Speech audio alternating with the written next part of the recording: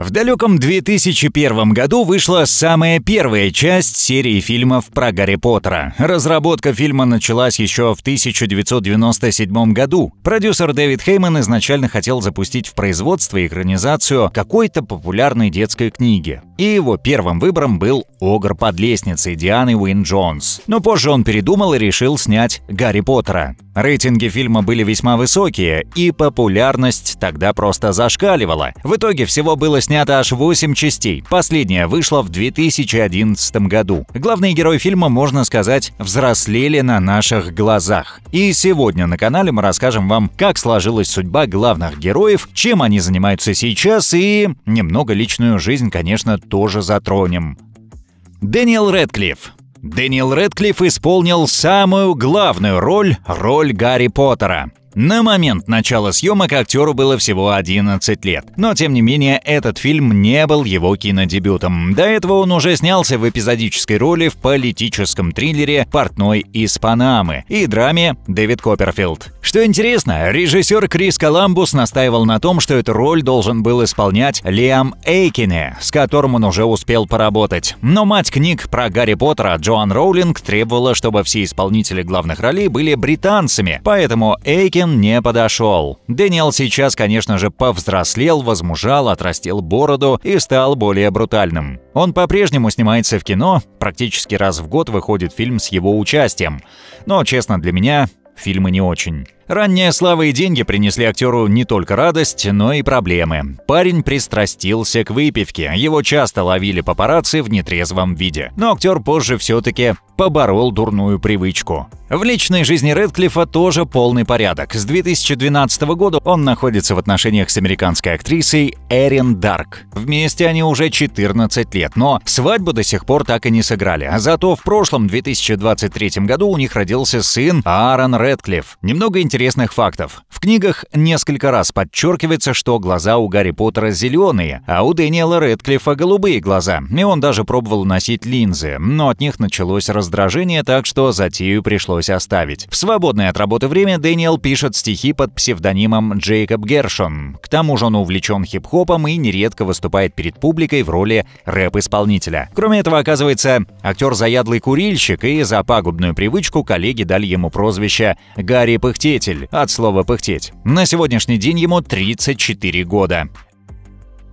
Эмма Уотсон Эмма Уотсон исполнила роль Гермионы Грейнджер. Джон Роулинг утвердила Эмму Уотсон на роль Гермионы после первой же кинопробы. Однако продюсеры и режиссер не были так уверены в ее кандидатуре, и в итоге ей пришлось проходить кастинг аж 8 раз. Эмма сейчас снимается довольно редко. Как говорит она сама, взяла творческую паузу. С 2019 года она появилась лишь в одной короткометражке «Парадокс Прады». А сейчас на стадии производства находится фильм «Наполеон Леоне Бетси. На ее счету сейчас 26 сыгранных ролей в фильмах и сериалах, цифра небольшая. Выбирая сценарий проекта, Уотсон руководствуется одним правилом. Ее привлекают фильмы, которые ставят именитые режиссеры. Главным в искусстве актриса считает только личность. В 2023 году красавица поступила на курс писательского мастерства в Оксфорд на заочную форму обучения. В свои 33 года она еще не была ни разу официально замужем, но романов с известными мужчинами было много. Последний роман у нее был с сыном олигарха Брэндоном Грином, но в 2023 году они расстались. В свободное время девушка любит кататься на лошадях и пробует заниматься серфингом. Также у нее есть свой бизнес. Вместе со своим братом Алексом запустила производство джина. Дело в том, что родители Эммы много лет назад владели собственным виноградником в Бургундии, и она с братом часто приезжала во Францию на каникулы и следила за тем, как собирают виноград.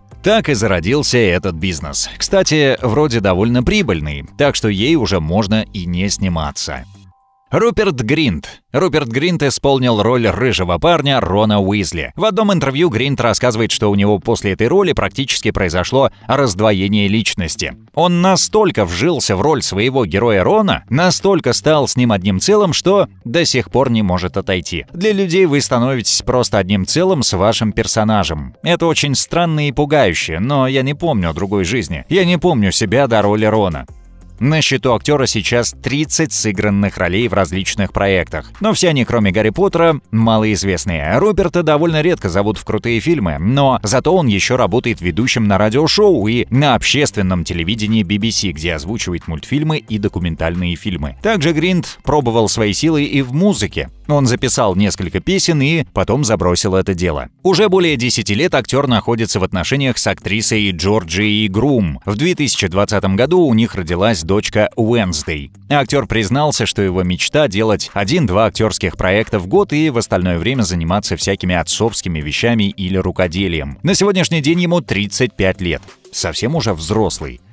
Робби Колтрейн. Робби Колтрейн исполнил в фильме роль Хагрида. Актера, как уже чуть больше года, нет с нами. 14 октября 2022 года он умер. Причиной смерти стала полиорганная недостаточность. Робби с 2019 года передвигался на инвалидном кресле из-за болезни под названием остеоартрит. Кроме этого, у него был еще диабет.